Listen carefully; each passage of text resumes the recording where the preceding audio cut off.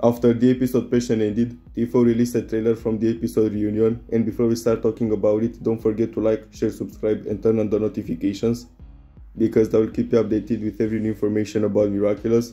So now, let's begin. First of all, we can see the akumatized villain, who is Pharaoh from the first season, fighting Ladybug. Then we can see them again, but this time we can see that Pharaoh created a shield using the turtle Miraculous. In season 5 the episodes are named after the Miraculouses, but this time Reunion is not a Miraculous. The episode is named Reunion because Ladybug will contact the past Ladybugs, so it's gonna be somehow a reunion.